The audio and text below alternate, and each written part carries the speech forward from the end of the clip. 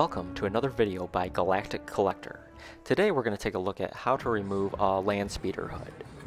Now the hood is held in place by this little plastic hinge that's locked into the main body by this little plastic tab. So what I find works perfect is uh, if you have an X-Acto knife, sometimes they come with these flat chisel uh, scraping blades, and it's almost the exact size of the slot uh, for the front of the hinge. So you put the knife in here and you start levering the handle of the knife towards the front of the land speeder, which pushes the tab that's holding the hinge in place towards the back.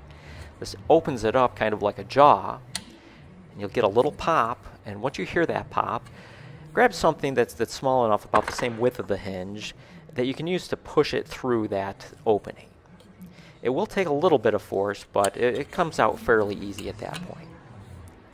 And there you have it we have now removed the hood from our land speeder. I hope you enjoyed this video. Uh, make sure to check out galacticcollector.com to learn more about your vintage Star Wars action figure collection. Thanks for watching.